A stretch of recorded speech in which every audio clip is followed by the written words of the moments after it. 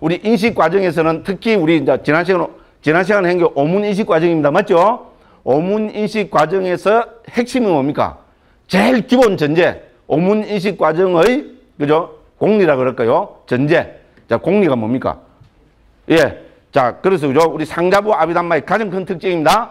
찰나를 이야기하는데 상자부 아비담마에서는 결론적으로 말씀드리면 물질 찰나와 심찰나의 길이가 다르다. 물질 찰나와 심 찰나의 그죠? 그, 그 크기가 뭐 크기라면 됩니까? 뭡니까? 이게 뭐라 하면 되노 이거는? 예? 뭐 길이랑 하기 좀 그런데 죠 어쨌든 이제 그 시간 길이가 다르다. 요게 기본 명제입니다. 됐죠? 죠 기본 전제입니다. 자, 그래서 우리 청정도는 지난 시간 다 살펴봤습니다. 인용하는 거죠. 사상 제라피 나왔죠. 그죠? 물질이 머무는 아찰나에 마음은 16번 일어나서 머물고 사라진다. 요게 청정도론에서 밝히고 있는 물질 찰나와 심찰나의 이 차이입니다. 됐죠? 그죠? 그래서 물질은 일어나는 아찰나는 너무 빨라갖고, 그죠? 마음이 일어나는 아찰나의 길이와 같다겠습니다. 죠 사라지는 것도 마찬가지고, 머무는 동안 16개의 마음이 일어나고 머물고 사라진다 했습니다. 죠 자, 그래서 요까지 다 합치면은 1대 17이 되겠죠. 자, 요렇게 보면 뭡니까? 자, 이 전제가 없으면은 우리 물질에 대한 인식 과정은 이게 성립이 안 됩니다. 그러니까 특히 이거를 강조합니다. 그러니까 우리가 생각해보면 뭡니까? 그죠? 마음이 하나의 물질이 일어나서 머물고 사라질 동안에 최대 뭡니까? 몇 개의 마음이 거기에 게재됩니까? 17개 마음이죠. 그죠? 그렇죠? 최대 17개의 마음이 하나의 물질적 대상을 인식하는데 게재가 됩니다. 그래서 우리 요 보면은 그, 그 사장 제일 첫 번째 도표 있죠. 그죠? 그 몇 쪽입니까? 396쪽이죠. 그죠? 396쪽 맞죠? 그죠? 예, 396쪽에 보면은 저 눈의 문에서 인식 과정 매우 큰 대상 요 하나를 딱 여기 해놨습니다. 그죠? 그러니까 여기 1부터 17까지 있죠. 그죠? 그럼 점세 개는 왜 찍어놨다 했어요? 마음이 일어나고 머물고 사라지는 거. 됐죠? 그죠? 그렇게 해서 최대 17 심찰나가 개적이 됩니다. 자, 그래서 마음, 물질이 일어난 찰나는 뭡니까? 너무나 빠르다 했죠? 그렇기 때문에 물질이 일어나는 아찰나는 어떻게 됩니까? 아무리 부처님의 마음이라도 이거는 알 수가 없다는 겁니다. 됐죠? 하나가 흘러가 버린다는 겁니다. 그래서 이거를 지나간 방황가를 합니다. 됐죠? 그러면 두 번째 물질의 찰나, 두 번째 찰나에 방황가가 흔들리고 세 번째 찰나에서 비로소 방황가가 끊어집니다. 자, 방황가가 끊어지면은 어떻게 됩니까? 그죠? 우리가 이제 대사, 대상을 인식하는, 그죠? 우리 이제 인식에 개재된 마음들이 본격적으로 활약을 합니다. 자, 그래서 전향, 이거는 뭡니까? 옴, 저 우리 물질은 밖에 있으니까, 죠? 오문 전향이 되겠죠. 밖으로 향한 오문 전향이 일어나고, 오문 전향이 일어나면은 그게 뭡니까? 형색이면, 대상이 형색이면은 눈의 아르마리. 뭡니까? 소리면은 귀의 아르마리. 똑같이 해서 뭡니까? 감촉이면은 몸의 아르마리. 그래서 안식, 이식, 비식, 설식, 신식 중에 하나가 일어나고 그 다음에 어떻게 됩니까? 예, 그러면 그 데이터를 받아들이는 역할하는 받아들이는 마음이라고 받아들이면은 조사하는 역할하는 예, 조사의 마음이 일어나고 그 다음 뭡니까? 조사하고 나면은 뭐라고? 결정하는 그죠? 결정하는 역할하는 마음이라고 그 다음 뭡니까? 최대치로 어떻게 됩니까? 결정되면은 자완화가 그죠? 예, 업을 짓는 자완화의 특징은 업을 짓는 마음이랬죠? 업을 짓는 마음이 예, 일어나면은 반드시 일곱 번 일어난다는 겁니다. 그러고 뭡니까? 그 대상이 매우 큰 대상일 때는 여운의 마음이 일어난다고 했습니다. 됐죠? 그죠? 이렇게 하면 전부 17개 심찰라가 개제가 되고 그러면 뭡니까? 물질이 소멸되겠죠? 그때 다시 뭡니까? 우리 방황가도 어떻게 됩니까? 아, 우리 인식 과정도 그죠? 하나의 인식 과정이 끝나고 존재지속심 혹은 방황가가 일어나게 되는 겁니다. 됐죠? 그죠? 이렇게 해서 어떻게 됩니까? 예. 하나의 대상을 인식, 물질적 대상을 인식하는데 마음은 17개가 개재가 된다는 것이, 그것이 상자부 인식 과정의 기본 논리입니다. 됐죠? 그래서 요거를 설명하는 대전제가 뭡니까? 청정도론에 나오는 마음은, 그죠? 물질이 머무는 아찰라에 마음은 16번 일어나서 머물고 사라진다는 것. 자, 요것이 기본 전제가 됩니다. 자, 이걸 해서 우리가 다 해보면은 우리 뭡니까? 오문 인식 과정에서 일어날 수 있는 그 인식 과정은 최대 15개가 된다 했죠? 핵심은 이겁니다. 그렇죠? 몇 페이지 도표입니까? 406쪽 도표 보면은 오문 인식 과정이 등급되어 있죠? 그죠? 예, 그래서 거기 전체 15가지가 나와 있습니다. 그리고 이거는 뭡니까? 대상에 따라서 매우 큰 대상, 큰 대상, 작은 대상, 매우 작은 대상에서 그죠? 매우 큰 대상에서는 이제 하나의 경우가 있고요. 하나의 케이스가 있고 큰 대상일 때는 예, 두 가지 경우의 수가 있고요.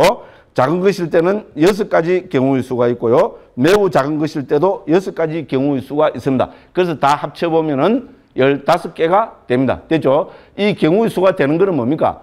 예, 우리가 다른 말로 해보는 그죠? 예, 대상이 일어났을 때, 그죠? 우리 그 뭡니까 거기에 게재되는 그저 그 어떤 마음이 거기에 게재되는가 하는 거기입니다. 그래서 매우 큰 것일 때는 특징이 뭡니까 여운으로 끝나는 과정이죠. 그죠? 지난 시간 다 했어요. 아는 것 아는 듯한 표정을 짓고 계시는 분들이 있어요. 지난 시간 다 했어요. 그죠? 그 보면은 우리 저 앞에 보면 그죠? 대상을 매우 큰 대상이라 부른다 했고 그다음에 예를 들어서 이왕 도표 그거 해놨으니까 그죠? 그 예를 들어서 408조항 가보십시오. 그래서 하면은 그죠? 자 모든 다섯 가지 모여서 여, 뭡니까 여운으로 끝나는 과정, 속행으로 끝나는 과정, 결정으로 끝나는 과정, 효과가 없는 과정 됐죠? 예, 요것이 이 도표 나타나는 거죠. 매우 큰 대상은 뭡니까? 여운으로 끝나는 과정입니다. 큰 대상은 속행으로 끝나는 과정. 그 다음 뭡니까? 작은 것은 예 결정으로 끝나는 과정. 됐죠? 매우 작은 것은 뭡니까? 예, 그 그냥 그게 아무것도 없어요. 그러니까 그걸 뭐라 부르고 있습니까? 예, 그래서 효과가 없는 과정. 그래서 이거 제가 개그 콘서트 했지요. 이거 하니까 아, 아까 이제 한두 분은 벌써 제 개그 콘서트를 올리는 분들이 있는 것 같았습니다. 감사합니다. 존경합니다. 그죠? 그렇죠? 예? 개그 콘서트 주제가 뭡니까? 5만 원짜리냐? 만 원짜리냐? 100원짜리냐? 10원짜리냐? 그죠? 5만 원짜리가 나타나면은 여운이 생긴다 했습니다. 그죠? 아유, 당연한 이야기입니다. 그렇죠. 귀에 막 확 떨어져. 니미다가 확 떨어지죠. 그죠? 이거는 뭡니까? 매우 작은 것은 예, 효과가 없는 과정이라 했습니다. 그죠? 요게 핵심입니다. 어문 인식 과정은 요 도표 15개 있잖아요. 여기에다가 예, 5만원, 만원, 10원, 어, 100원, 10원. 요거만 딱 기억하시면 됩니다. 그죠? 예, 그렇게 해서 지난 시간 다 했고요. 자, 오늘은, 그죠? 이제, 어, 아, 지난 시간에 한것 중에 우리가 또 재밌는 우리 전통적으로 그죠 그 위반과 주석서 그죠 우리 그 산모와 민호 단위에 나오는 이 망고 먹는 비유가 유명한 비유입니다. 그래서 그죠 이거는 그좀 수준 있게 비유를 한 겁니다. 저 저는 뭡니까 수준이 낮아 갖고 있잖아요. 5만 원짜리 막 이런 게 비유를 했는데 그죠 그 403쪽입니다. 그 보면은 망고 먹는 비유가 나옵니다. 요거는 우리 아주 재미도 있어요. 그래서 제가 좀 자세하게 여기 인용을 해봤습니다. 아, 403쪽 바로 위에서도 세 번째 줄입니다. 아비담마의 대가들은 이런 감각의 문에서 일어나는 인식 과정을 즉 전 그죠 우리 뭡니까 오문 인식 과정을 망고 먹는 비유로 설명하고 있다. 어떤 사람이 머리를 뒤집어 쓰고 망고가 열린 나무 아래서 잠이 들었다. 그때 이건 망고가 거의 귀를 스치며 땅에 떨어졌다. 그 소리에 깬 그는 눈을 뜨고 바라보았다. 그 후 손을 뻗어 망고를 집어들고 그것을 비틀어서 짜고 냄새를 맡았다. 그런 후 망고를 먹고 그 맛을 느끼며 삼켰다. 그 후에 다시 잠에 빠졌다. 됐죠? 자, 그래서 요 비율을 보면 한 열단계로 비율을 들고 있습니다. 자, 여기서 망고 나무 아래서 잠이 들어있는 시간은 존재 지속심이 흐르고 있는 것과 같다. 자, 이건 망고가 그 사람의 귀를 스치며 떨어지는 것은 감각의 대상의 눈 등의 다섯 가지 감각의 문 가운데 하나를 치는 것과 같다. 맞죠? 그죠? 자, 그 소리에 깨어나는 시점은 오문전향의 마음이 대상으로 향하는 것과 같다. 그 사람이 눈을 떠서 바라보는 것은 눈의 아르마리가 보는 역할을 수행하는 것과 같다. 그 사람이 손을 뻗어 망고를 잡는 것은 받아들이는 마음이 대상을 받아들이는 것 같다. 그 사람이 망고를 비틀어서 짜는 것은 조사하는 마음이 대상을 조사하는 것과 같다. 그 사람이 냄새를 맡는 것은 결정하는 마음이 대상을 결정하는 것과 같다. 그 사람이 망고를 먹는 것은 속행 즉 자원의 마음들이 대상의 맛을 경험하는 것과 같다. 그 사람이 망고의 맛을 느끼며 삼키는 것은 영혼의 마음이 속행이 가졌던 것 같은 대상을 가져 여운을 가지는 것과 같다. 그 사람이 다시 잠에 드는 것은 존재 지속성으로 흘러가는 것 같다. 요 보면 번호를 메고 보면 1번부터 10번까지가 됩니다. 잠에 들어있는 시간 1, 망고가 그 사람의 귀를 스치면 떨어지는 것 2, 그 소리에 깨어나는 시점 3, 눈을 떠서 바라보는 것 4, 손을 뻗어서 망고를 잡는 것 5, 자, 망고를 비틀어 짜는 것 6, 냄새를 맡는 것 7, 망고를 먹는 것 8, 망고의 맛을 느끼면 삼키는 거 9, 다시 잠이 드는 거 10. 됐죠, 그죠? 예, 요열 가지를 우리 좀 오문 인식 과정에서 그죠? 방가가 흐르다가 그죠? 인식 과정의 마음이 일어나서 그죠? 전호식, 어, 그, 뭔가, 오- 오문 전향 전호식 받는 마음, 조사하는 마음, 결정하는 마음, 그 다음, 그 다음에죠. 자화나 여운의 마음, 그리고 열 번째 여기서는 뭡니까? 다시, 저, 그 존재지 속심, 예, 방가가 흘러가는 거. 됐죠, 그죠? 요렇게 분류를 하고 있습니다. 집에 가시갖고, 그죠? 꼭 한번 또 음미를 해보시기 바랍니다. 이제 이것만 갖고 벌써, 그죠? 우리, 우리 저 어머니 식하고 벌써 대여섯 번 반복해서 했잖아요. 그죠? 맞죠? 그죠?